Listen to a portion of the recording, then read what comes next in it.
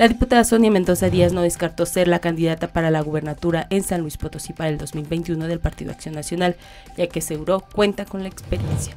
Pues mira, yo creo que nosotros ya fuimos candidata a gobernadora, yo tengo un trabajo permanente, he hecho campaña en todo el estado para el Senado, he hecho campaña para diputada federal, la mayoría, todas, o casi todas con excepción de esta, las he ganado con, con el voto ciudadano. Es importante pues eh, también tener idea de cómo estamos para poder eh, trabajar con fuerza. Precisó que aún es muy pronto o prematuro hablar del 2021, pero enfatizó que es importante ver el panorama desde ahorita.